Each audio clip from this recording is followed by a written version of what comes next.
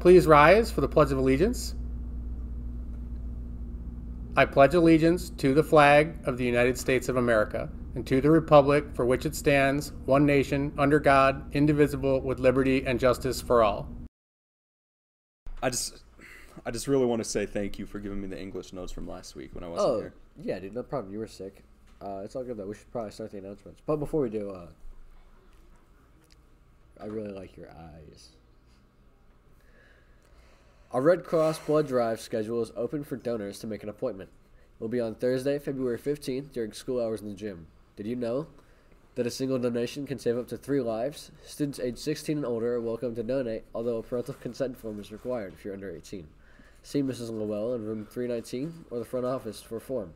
Any staff member or student who is scheduled to donate can dress down in school appropriate attire on drive day. Please scan the QR code on the poster shown here or any that are hanging around the hallway to schedule your appointment today. High school students, if you received an intent to test letter from Cambridge exams, please remember that the form, even if you chose to not take any exams, and payment is due by Friday, February 9th, 2024.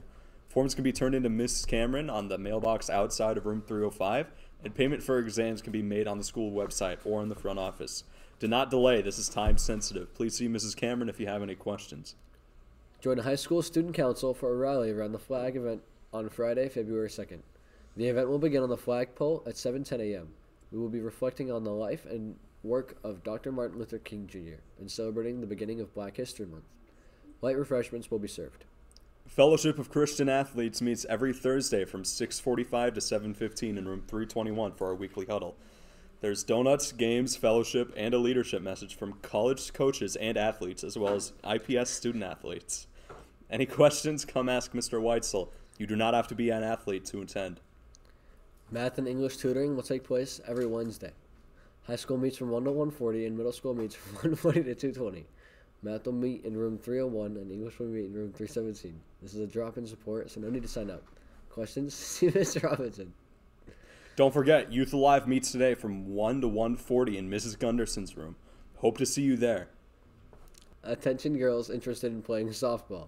There will be a varsity softball open field on the IPS backfield Monday, January 22nd and January 29th. Times will be 3:30 to 4:45 p.m. Please bring a, a glove, cleats, bat, water, and school-appropriate softball attire. Grades 7 through 12 are able to attend. If you have any questions, please see Coach Mold in room 321.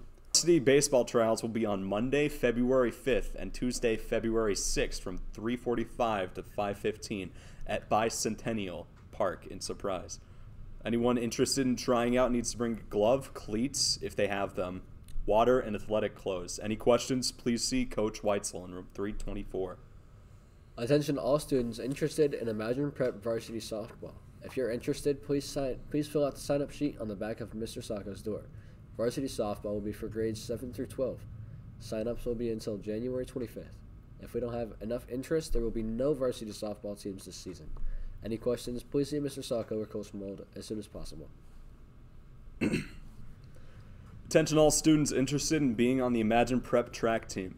If you are interested, please fill out a sign up sheet on the back of Mr. Sacco's door. Track is for all grades 6 through 12. Signups will be on January 25th. If we do not have enough interest, there will be no track team this season. Any questions, please see Mr. Sacco as soon as possible. Attention all students interested in soccer. Open fields with Coach Wader back. Join us on the backfield on select days from 3:30 to 5:30 p.m. Middle school and high school students welcome. Make sure to bring water, cleats, and shin guards.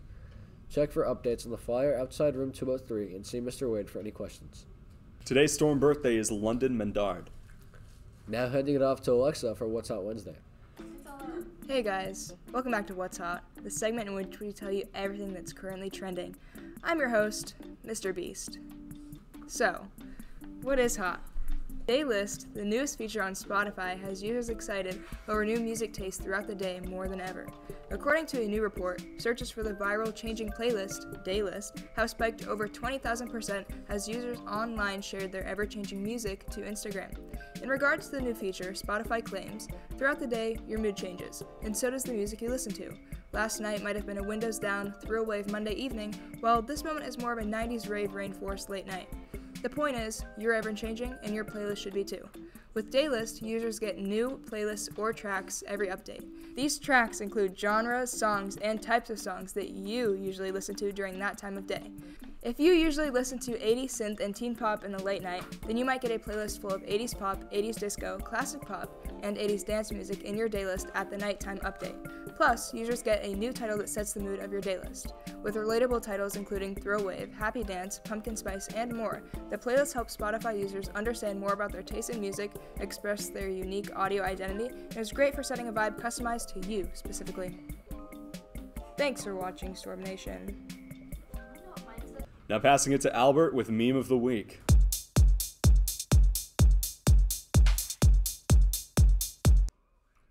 Hello, welcome back to Meme of the Week, where I cover memes.